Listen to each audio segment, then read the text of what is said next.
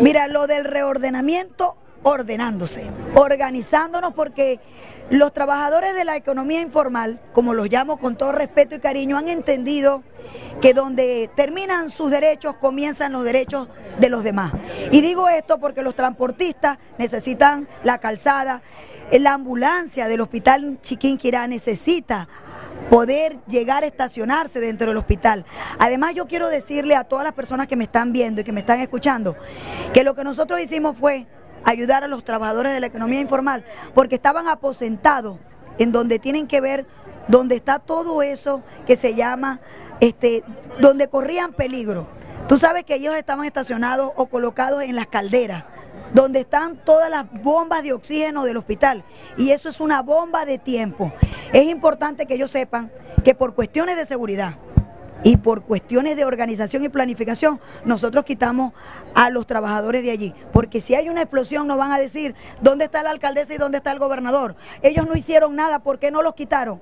Entonces entiendan que sobre todo los que se aposentaron en la zona de seguridad del Hospital Chiquinquirá, ya les vamos a buscar reubicación en Caicay. Estamos en conversación con Francisco Delgado, con la defensora del pueblo, con los trabajadores de la economía informal, todos, porque la idea no es atropellar, no es maltratar y no quitarle la oportunidad ahora en, la, en todo lo que tiene que ver con las fiestas decembrinas donde ellos llevan el sustento a su hogar, lo vamos a dejar en diciembre. Pero en enero y en febrero nos vamos a organizar y vamos a organizar a la economía informal. Ya tenemos tres terrenos para presentárselo a los trabajadores. Pero lo que sí queremos es que entiendan que en el hospital no se pueden volver a colocar por cuestiones de seguridad, para ellos y para nosotros. Nosotros necesitamos que las personas que llegan al hospital en una ambulancia se les pueda salvar la vida, pero es que resulta que desde que la ambulancia viene, en la Libertador no puede entrar porque han tomado la calzada. Y no es cuestión de atropello, es cuestión de que entendamos que en la medida que nosotros nos organicemos, ellos van a vender más, van a ser mucho más productivos y los usuarios y los ciudadanos podrán ir a comprar libremente porque tienen espacios por donde caminar y evitar que se hagan atracos, atropellos.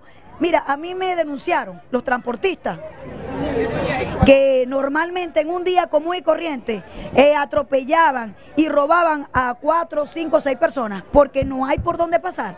Ahora la vía está, está libre, se ha evitado, hemos ayudado a todo lo que tiene que ver con la inseguridad, hemos ayudado a la libre movilidad y estamos ayudando a que la gente sea más productiva, pueda llegar mucho más temprano al trabajo y pueda llegar mucho más temprano a su hogar. Entonces, es lo que dije anteriormente. Se trata de los derechos de todos los ciudadanos, donde nosotros, donde terminan nuestros derechos, comienzan los derechos de los demás.